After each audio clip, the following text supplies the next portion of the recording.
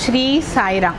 பாபாவுடைய அருள் முழுமையாக உங்கள் எல்லாருக்கும் கிடைக்கணும்னு பாபாவுடைய பாதங்களில் பணிந்து வணங்குறவங்க குருவுடைய வாக்கை அப்படியே மனசில் ஏற்றிண்டு அந்தரத்தில் நிறுத்தின அந்த செங்கல்ல மட்டும் தனக்கு துணையாக எடுத்துண்டு பாபா அவருக்கு இன்னும் இந்த பாபாங்கிற பேர் வைக்கல. இருந்தாலும் நமக்கு பாபான்னு சொன்னாதான் அந்த கதை முழுமை பெறுற மாதிரி இருக்குது இல்லையா? அந்த இளைஞன் அந்த ஷீரடிங்கிற கிராமத்துக்கு போனார். அவர் எப்போ அங்கே வந்தார்? எப்போ அங்கே உக்காந்தார்லாம் தெரியாது. ஷீரடிங்கிற அழகிய கிராமத்தில் மக்கள்லாம் ரொம்ப சாதாரணப்பட்டவங்க எளியவர்கள் ஆனால் பக்தி நிறைந்தவர்கள். அதிகாலை வேளையில் எல்லாருமா அந்த ஊர் மக்கள்லாம் எழுந்த உடனேவே அந்த ஊருக்கு வெளியில் இருக்கிற வேப்ப மரத்துக்கு அந்த கிளையை ஒடிச்சு அதுலேருந்து சின்ன சின்ன குச்சி எல்லாம் எடுத்து பல்லு தேய்ப்பாங்க. அந்த காலத்தில் ஆளும் வேலும் பல்லுக்கு உறுதின்னுட்டு அதைத்தான் மரக்கிளையில் இருக்கிற இந்த சின்ன குச்சியை எடுத்து தான் அவங்கெல்லாம் பல்லு தேய்ப்பாங்க. அப்படி பல்லு தேய்க்கிறதுக்கு அந்த மக்கள்லாம் வந்தபோது அந்த எப்போதும் பார்த்த அந்த வேப்ப மரத்துக்கு அடியில் அப்படி ஒரு அழகான தெய்வீகமான ஒரு இளைஞன் உட்காந்துருந்தானாம் ஒருத்தர் சொன்னாராம் இவன் மனுஷனே இல்லை. ஏதோ தேவத்தை மாதிரி இருக்கான் தேவன் மாதிரி இருக்கான் பாரு என்ன பால் வடியிற முகம் என்ன தேஜஸ். அவன் ஆழ்ந்த ஒரு யோகத்தில் அமர்ந்திருந்தார். ஊர் மக்கள் எல்லாரும் ஓடி வந்துட்டாங்க. ஓடி வந்தா இவன் யாரு? இவன் யாரு? இவங்கெல்லாம் பேசுறதெல்லாம் அவருக்கு கேட்கறது அந்த இளைஞன் அப்படி அவரை சுற்றி எல்லாரும் வந்து அந்த ஊர் மக்கள்லாம் வந்து நின்ன பொழுது பைஜா பாயின்னு ஒரு அம்மா.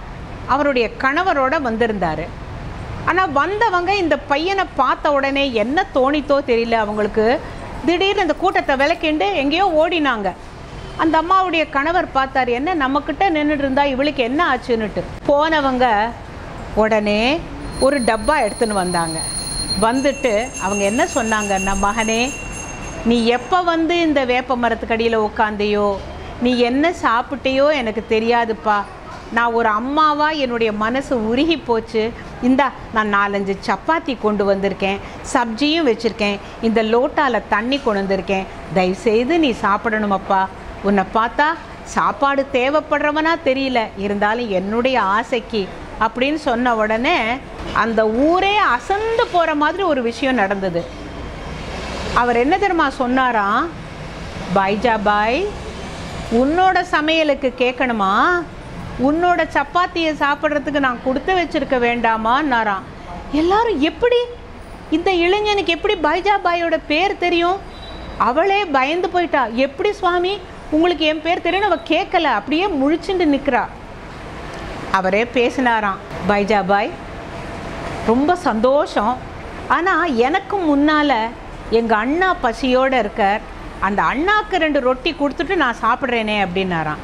யார் அந்த அண்ணான்னு ஊர் மக்கள்லாம் முழிச்சுட்டு இருந்த பொழுது அந்த ஊருக்கு அந்த வேப்ப மரத்துக்கு அந்த பக்கமாக இருந்த ஒரு காட்டை பார்த்து அவர் அண்ணா அண்ணா வந்து நீ சாப்பிட்டுட்டு போ அப்படின்னாராம்.